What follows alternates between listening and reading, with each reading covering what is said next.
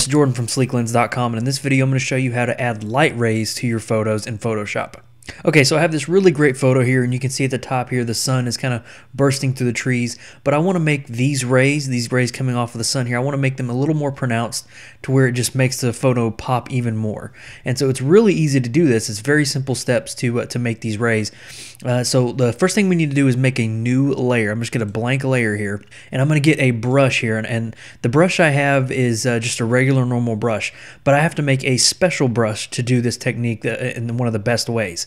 And so to do a special brush, to make a uh, your own brush, you're going to go to Window, and then brush. And you have the uh, brush panel here and this will allow you to create any kind of brush that you want. And so I'm going to walk you through this if you're not familiar with this brush panel. I'm going to walk you through this here and you just do the same exact steps that I do. So the first thing we're going to do is to is the shape dynamics. So when you go in here you can see kind of a preview how the brush will flow. And so what we want are are smaller dots larger dots and we want them in kind of random order. And so you can see the size jitter here. We're going to take that all the way up to 100% and you can see in this brush we have small dots dots over here, large dots over here, uh, and that's kind of what we're wanting here. So next we're going to do scattering, and you can see the scattering is at 100. I'm going to keep it at 100 because you can see if I if I do zero, it's the same brush we were using uh, when we were under the shape dynamics. But if you go to one uh, 1000 here, you can see it just scatters all over the place. And that's kind of what we want, we want it to be very, very random in what we're doing here. So the next thing I'm going to do is the smoothing tab. I'm going to click down here and I'm going to make sure my, my scatter is all the way at a thousand. And then the last thing we're going to do is the brush tip shape.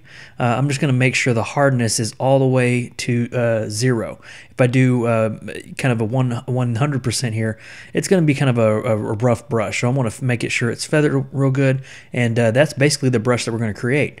So I'm just going to close this window down here and I'm going to enlarge my brush here and I'm going to paint over uh, with a black color so you can kind of see what's going on. So I'm just going to paint right here and you can see these black spots all over the place and it's just popping up in random order as I'm drawing around the screen. So that's kind of what we're wanting to create. So let me just get rid of that layer, get a brand new layer again. And I'm going to keep my brush fairly small. Uh, mine's going to be around 80 here.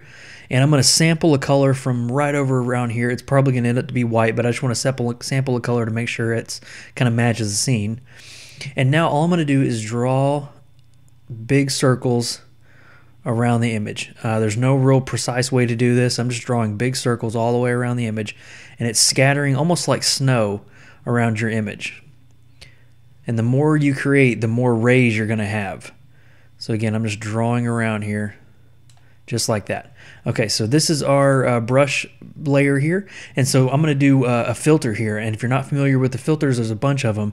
Uh, but I'm going to use the, uh, go here to filter, blur, and I'm going to use radial blur. And now you have two options for a blur method. You have a spin method, which you can see kind of does a real, real fast swirl method here. But we also have a zoom, which will allow it to, uh, to, to kind of come at you a little bit. And so I want to make sure my amount is at 100. And this point right here, this little crosshair, is where the center of the blur will take place. And so as the sun is right up here, I want to make sure my center is around where that sun's going to be. So I'm just going to do it right around here. Quality can be best or good. Don't ever use draft. It kind of kind of messes with it a little bit, but just keep it at good. It's probably uh, good enough and I'm going to click OK. And as you can see there, it kind of stretch the uh, stretch the dots all the way around, and uh, you can see it kind of made really cool rays.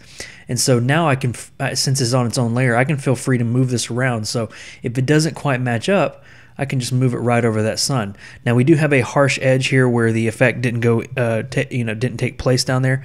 So all I got to do is uh, zoom that out a little bit, go down here, and click enter. All right, and there we have our rays. So now if we want to do it again, we can do the same effect again and try to blur it out a little more. If we want more intense rays, we can duplicate the layer and do, do it that way. That's a little too fake. We don't want to do it that way. Uh, but one thing we can do to kind of help this out is to warm up the uh, light ray effect. And one method that I always like to use for this is the photo filter. So I'm going to go down here to the adjustment panel and do uh, photo filter. I'm going to clip this photo filter layer to our brush layer here. So I'm going to hold Alt or Option and hover in between and click. And I'm just going to lighten up the rays. I'm just going to make sure that they're they're warmer uh, than what they were. So I'm going to keep doing that right around there. Looks about good. And uh, now the only thing I, other thing I can do is play with the blending modes. I can do uh, different types of blending modes to make sure it blends in a little more. Uh, just kind of play around with them. Uh, screen works pretty well sometimes.